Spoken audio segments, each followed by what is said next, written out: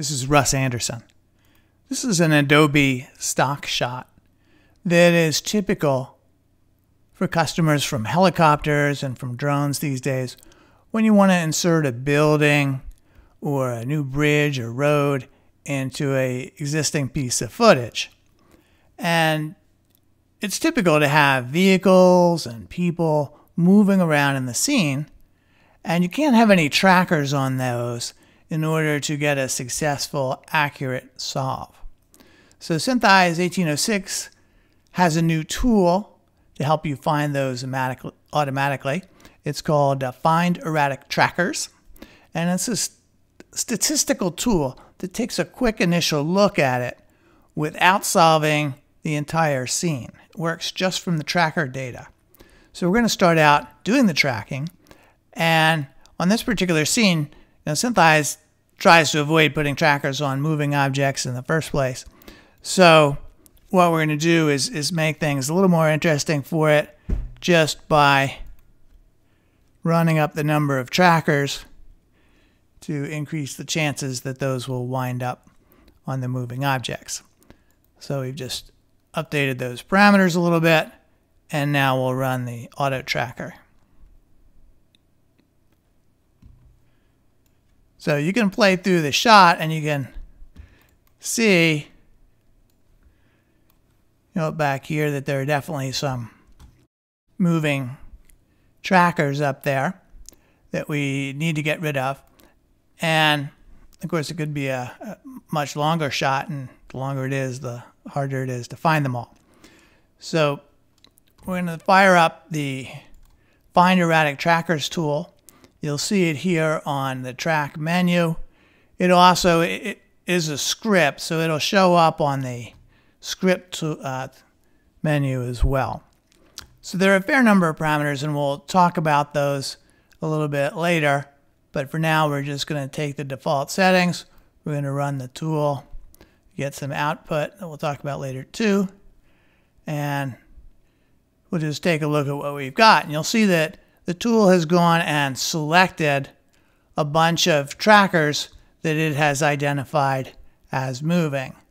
And, you know, as you scrub through the shot, you'll notice that there are, you know, a bunch that it has noticed up here. And there are a couple that, that it has not. And like I said, this is a statistical sort of process.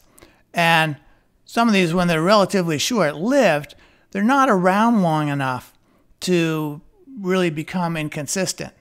This tool is looking for something that doesn't exhibit a perspective shift over the length of time that it's around. So short-lived trackers you know, turn out to have some valid 3D location, but it's often, you know, far underground, off in the distance somewhere, something like that. So it's not going to find all of them. And you'll notice also that it has tagged a bunch in the foreground here that are not, you know, erratic trackers either. So we have both some false positives here and some false negatives, and we'll see why this happens uh, later as well. So at this point, you know, you have two choices. You can either go and delete all of these, or you can go through and sort through and, and see which of them you want to keep, which you don't. And you'll notice that if I if I just unselect them all, you know, you'll see that the Find Erratic Trackers tool has set the color of the trackers that it found to make it easier for you to go and identify them as you're going around and looking at them. I'm just going to undo that so that they're all selected again and we'll hit delete. Similarly, we'll, we'll delete some of the other ones and just to show on the tracker tool, if you turn on the delete button there, you, know, you get into a delete mode. It lets you just kind of blast away at things. So having done that, we can go and do this solve a point that there's actually was were some trackers on that truck for that matter also if you notice. But we're ready to go and solve now. So let's fire that up.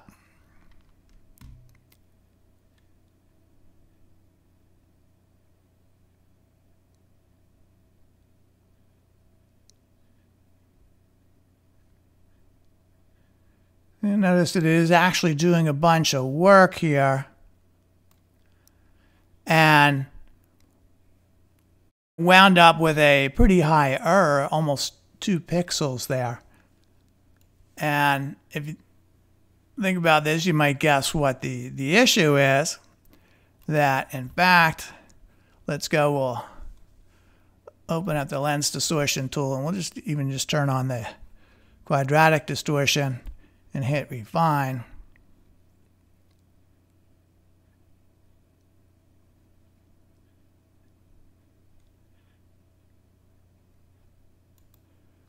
Now you see it's dropped down under a half a pixel of error. So, you know, that's telling you why those trackers here by the overpass initially got some false positives on them. You know, they're, of course, they're gone by now. But the point is that the trackers that were in that location were sweeping right along the edge of the image with a relatively high degree of error. So consequently, they wound up, you know, not matching up with this find erratic tracker process because the find erratic trackers process, like I said, it's it's not solving the scene. It's not accounting for any lens distortion. So if there is distortion, then it looks like the trackers are bad instead. So that is why they wound up on the short end of the stick there. So at this point, you know, we've got our solve. We could go and, and turn on some uh, additional distortion terms if we wanted, which would drop the error a little bit lower. But, you know, normally what you do now is go and do some tracker cleanup just in the conventional fashion. You can see that there are definitely some trackers around that you know do some strange things. We've got a, a lot of underbrush out there. So some of these are probably jumping from one little shrub to the next, something like that. So you do a little uh, traditional cleanup work on the solved, and then you'd be ready to insert your new building here, say, you know, maybe we're getting a new warehouse here or something. One thing just to point out that people get into a, a little confusion with at this stage with inserting buildings is that you have the same questions that you do if you're building the real building, which is where are we going to put the thing? And you know the guys that go out there with backhoes and stuff, they're not just going to say, "Oh, this looks good. Let's let's dig and, and put it here." They're going to do a little surveying and check some GPS references to decide where to go it and put it. So you need to be doing the same thing to locate your building into the scene. So that means you know, you need to have some reference points for which you have the ground truth, you know, which could be some of the signs on the side of the road or, you know, maybe some cones that were put out uh, in the uh, plot of land.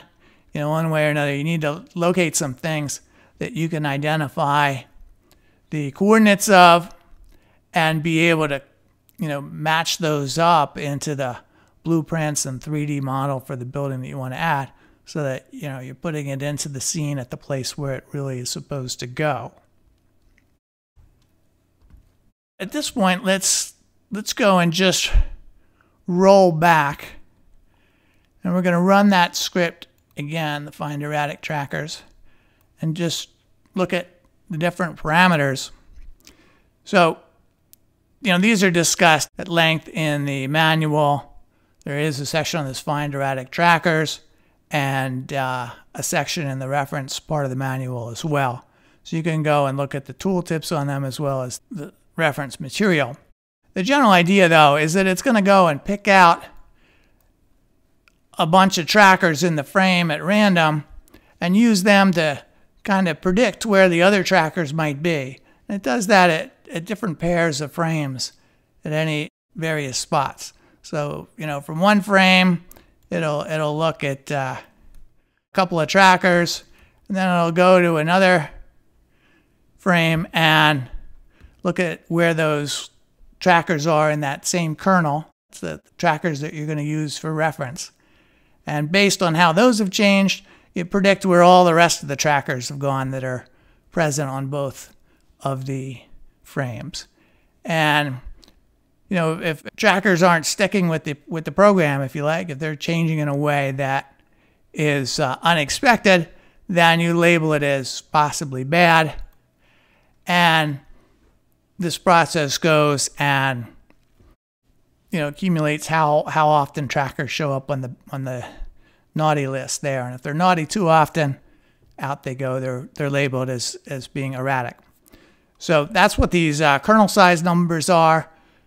Not only does it do that process for just one set of, of, of kernel trackers, but it's for each pair of frames. It's doing it with a whole bunch of different kernels that are all randomly selected so that in case one of the kernels or a couple of the kernels actually have some moving trackers as part of the kernel, that would screw everything up. Uh, you eliminate that. So the kernel has to be able to predict itself. It has to be internally consistent. And you have a bunch of, of different kernels to try to, to make sure that you're getting ones that are really well set up. So you have different numbers on, on how accurate the kernel has to be, and then on how accurately you have to be able to predict where trackers are. And that's this number here. It's actually fairly high.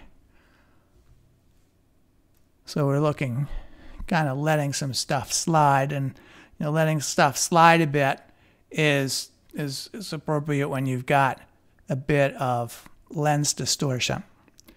But just for, uh, for kicks here, we'll, we'll run in some different numbers. The frame step is, like I said, it's doing different pairs of uh, frames, and it, it doesn't do all the possible frames or combinations, but operates kind of on a gridish sort of scheme. So we can make the grid finer to, to look a little harder.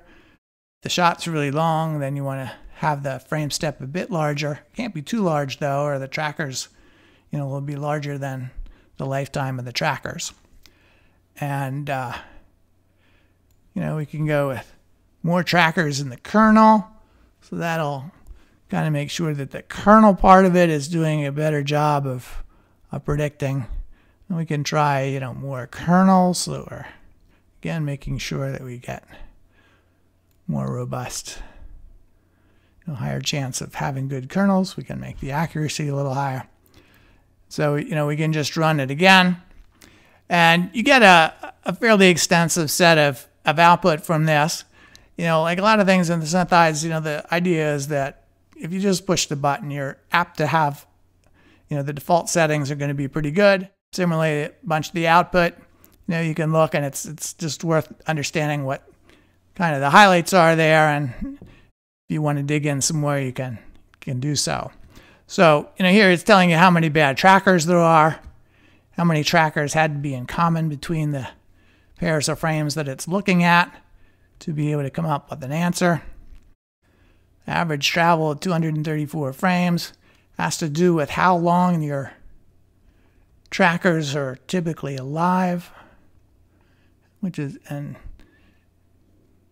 ties into that uh, 21 trackers common number.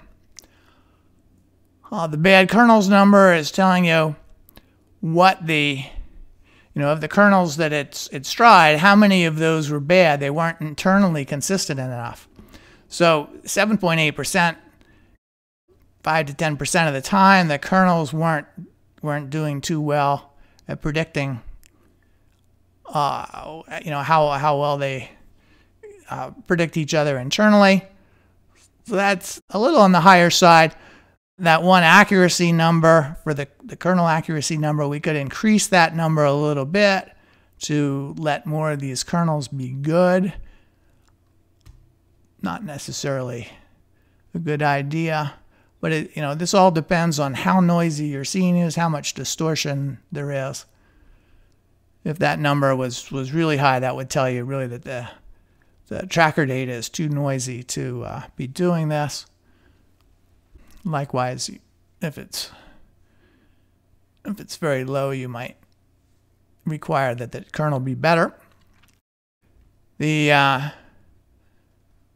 this histogram here is giving a representation of how often a given tracker shows up as being good or bad.